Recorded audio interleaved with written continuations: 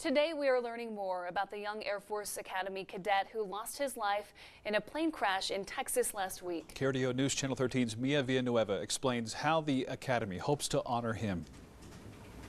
Nick loved aviation. He loved everything about it. Um, tragically, it, what he loved also, um, he, he died doing. As the National Transportation Safety Board continues its investigation into the single engine crash over Cleburne, Texas, the Air Force Academy is grappling with the loss of one of their own, 20 year old Nick Duran. Hundreds of cadets gathered on the Academy's baseball field where Nick once played to pay their respects.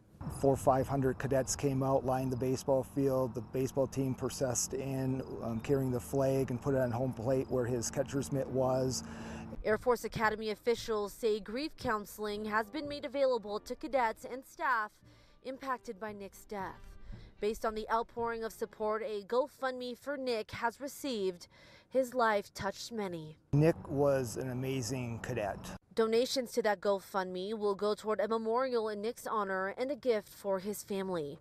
It's a part of the grieving process for cadets as they wait to find out what caused the crash. It'll bring closure, especially to those in the flying community, because flying is inherently risky.